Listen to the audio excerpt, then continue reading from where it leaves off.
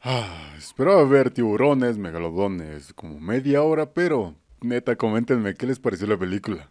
El tráiler nos hablaba de dinosaurios, criaturas muy grandes, el megalodón e incluso hay partes del kraken. Así que luego de ver el resumen, coméntame qué te pareció. Y ahora sí, ponte cómodo y acompáñame a ver este resumen, guapo. Claro que sí. La película comienza en la era creásica hace 65 millones de años donde unas criaturas de la prehistoria estaban bien tranqui hasta que de pronto escuchan un ruido. Todas comienzan a correr al agua porque se trata de un T-Rex. El T-Rex agarra algunas de ellas y se la comen, pero de repente vemos que aquellas criaturas comienzan a huir del propio mar, aún estando el propio T-Rex enfrente. El T-Rex no le da mucha importancia y se come uno de ellos, y al momento de comérselos, el Megalodon se come al propio dinosaurio. De esta manera pasamos al futuro, directamente con nuestro protagonista llamado Jonas. Jonas se encuentra dentro de un contenedor pues iba al barco para buscar evidencia, pues ese barco contaminaba al mar con sustancias radioactivas. Luego de eso va a investigar una habitación donde se encuentra con un hombre. El fin es ser un inspector para revisar cosas rutinarias. Sin embargo, aquel hombre no le cree y le advierte a los demás, comenzando una persecución y aunque se libra a algunos de ellos, al final la persecución llega hasta un borde, y este último tiene que saltar al mar para poder salvarse. Afortunadamente su equipo llega tan pronto como lo hace, recogiéndolo con una avioneta y de esta manera salvándole y obteniendo evidencia yendo directamente al Instituto Oceánico de Hainan, China. Aquí vemos a un hijo conocido Yomin y Mei que ha crecido bastante. Pues nos cuentan que gracias a la tecnología de Yomin han logrado crear un traje que les da super fuerza, y de esta manera podrán hacer expediciones directamente al abismo con mayor precaución y defenderse contra las bestias que se encuentran ahí abajo. Esa misma noche están en una conferencia donde Hillary presenta a Jonin, el director del instituto y también el que trabaja en toda la tecnología gracias a los inversores que se encuentran escuchando. Este les platica que gracias a su hermanita y también a su padre que les inculcó esta investigación, llegaron a una tecnología tan alta que les permitiría ir al abismo, donde se encuentran criaturas desconocidas como Hachi, el único megalodón de cautiverio que se encuentra en este planeta. Gracias a él han aprendido muchísimo sobre los megalodones, y también gracias a las donaciones han llegado la tecnología para poder cruzar la Thermoclean, una capa de agua helada que separa el mundo entre nosotros y el mundo de los megalodones. Pues crearon a Dai un vehículo sumergible que puede estar a más de mil metros bajo el mar y con la cual planean hacer una expedición para conocer más sobre los megalodones y las criaturas que se encuentran en el abismo.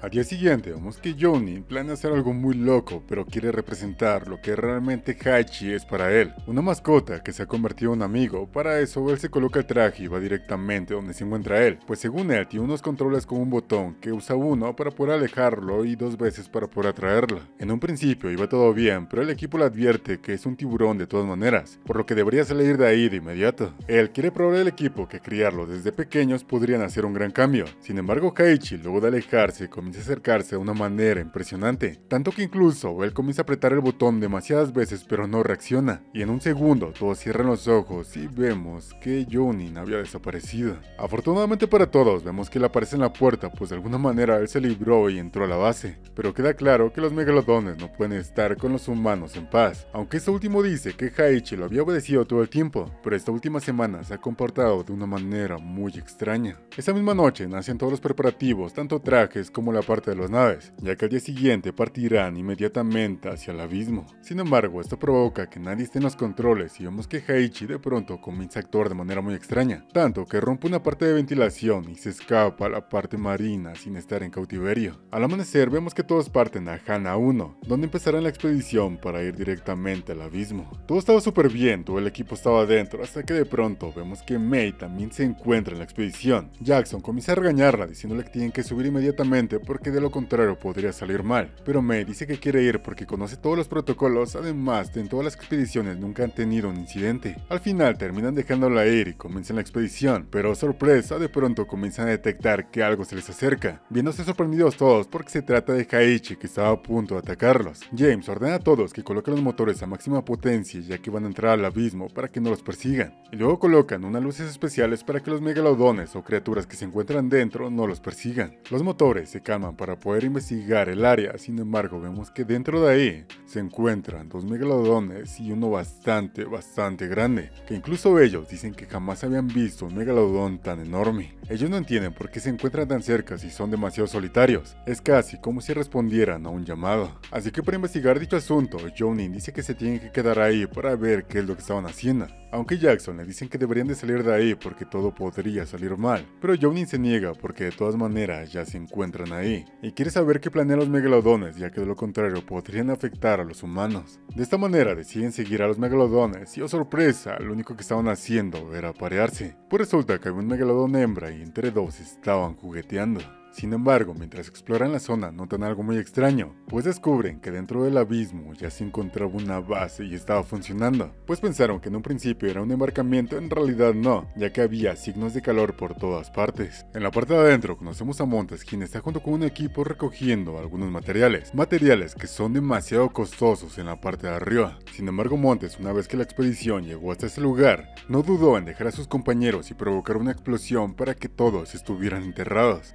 Provoca que las naves de la expedición quedan enterradas e incluso Johnny no lo encontraban. Por lo tanto, Jonas toma la decisión de colocarse todos los trajes, y a pesar de que solamente tienen dos horas como máximo y tienen que recorrer 3 kilómetros, necesitan hacerlo si quieren sobrevivir, ya que en la parte de arriba, una vez que se comunican con ellos, le dicen que no pueden rescatarlos, ya que la nave de emergencia por alguna razón alguien la estropeó, y todo el panel de control había sido averiado. Con pocas opciones, todos salen con sus trajes y a medida que avanza se encuentra con Johnny. Todos comienzan a caminar y en medio del camino son atrapados por bestias, y aunque en un principio logran derrotar a una, al final vemos que uno de ellos desaparece misteriosamente, y aunque ninguno del equipo se dio cuenta quién fue, podemos ver que al fondo se trataba del mismísimo Kraken. De repente, con ayuda del traje, Johnny dice que corran todos, ya que las bestias prehistóricas que vimos al inicio de la película comienzan a navegar hacia ahí. Todos comienzan a correr, pero son demasiado lentos en esa parte del agua, comenzando una lucha en la que apenas sobreviven, gracias a que llegan los megalodones y comienzan a comerse a dichas criaturas. Sin embargo, una vez que se encuentran adentro, vemos que pierden otra persona del equipo.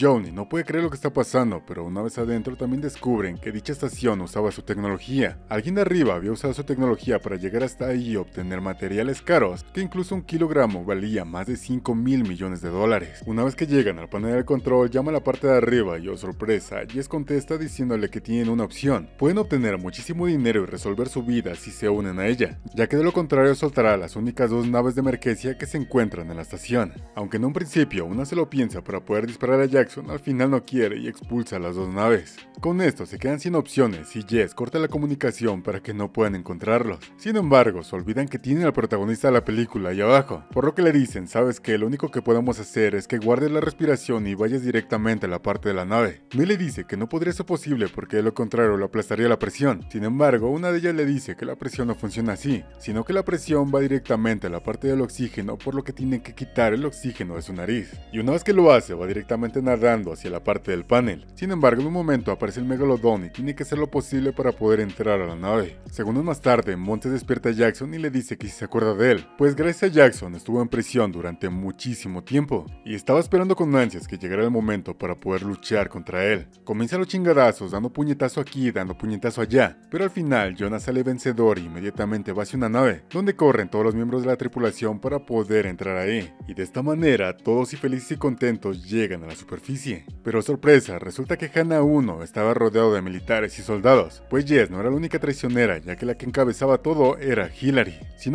lo único que pueden hacer es rescatar a James y también a JC que se encontraban en el panel de control, y de esta manera escapan en una lancha pero tienen que hacerlo sin un motor, ya que si usan el motor de la lancha podrían atraer a los megalodones, ya que habían entrado a la superficie porque habían roto el manto gracias a la explosión que habían provocado. La primera en ser comida es Jess, ya que estaba confiada por los vidrios antimegalodones. Sin embargo, estos últimos no eran suficientes y terminaron con San Pedro. Los segundos en caer son militares que estaban persiguiendo a Jackson pero prendieron el motor. Y de la nada, cuando estaban a punto de dispararles, el megalodón aparece y se come a todos. Al ver esto, todo el equipo no tiene opción más que encender el motor y darle a full, mientras que Hillary le dice a Montes que no tiene opción más que mandarlos con San Pedro de una u otra manera, y le da la orden de seguirlos a cualquier parte a donde vayan. En el camino Jackson crea unos arpones junto con explosivos para poder acabar con los megalodones, yendo a dirección a la isla llamada Divertida. Ahí todos estaban bailando, todos estaban divirtiendo, e incluso una pareja le estaba pidiendo matrimonio a una, pero de repente su novia ya no se encontraba pues el Kraken se la había comido.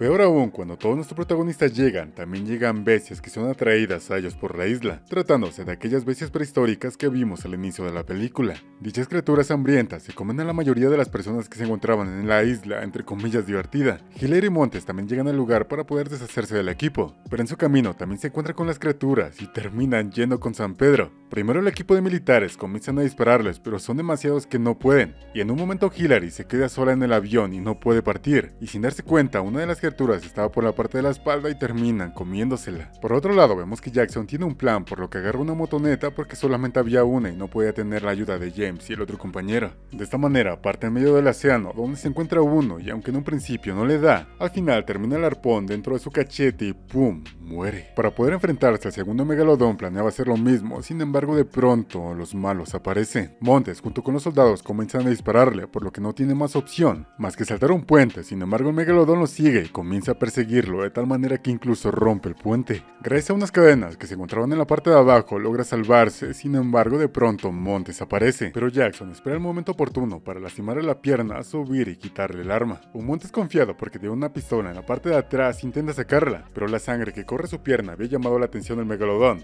y de esta manera termina comiéndoselo. Al mismo tiempo, el Kraken había capturado a Jonin y lo había puesto bajo el mar. Sin embargo, él tenía una explosión en sus manos, por lo que inmediatamente se dirige hacia él y aunque crea una explosión, no fue lo suficiente y comienza a arrastrarlo al fondo del océano. Pero cuando todo parecía perdido, de repente aparece Hachi y lo defiende, destruyendo al pulpo. Del otro lado, vemos que Jackson se enfrenta nuevamente al Megalodón, pero esta vez lo estaba esperando con la parte de un avión que había sido destrozado. Y este Megalodón, al intentarse comerse a Jackson, termina enterrado y muriendo también. Y con este último derrotado, las amenazas más grandes habían sido completamente destruidas. Pero ahora solamente quedaba un Megalodón y este era Hachi. Este último comienza a a Junin amenazantemente. Sin embargo, él trae consigo su control y de alguna manera lo hace entrar en razón. Y una vez que llega enfrente de él, lo reconoce y se hace a un lado. Al salir del agua, Vivito coleando le dice a todos los demás que Haichi es especial y que siempre lo supo, para luego sentarse después de todo este caos y desastre. Y así termina Megalodon 2. Espero te haya gustado muchísimo el resumen. Nos vemos.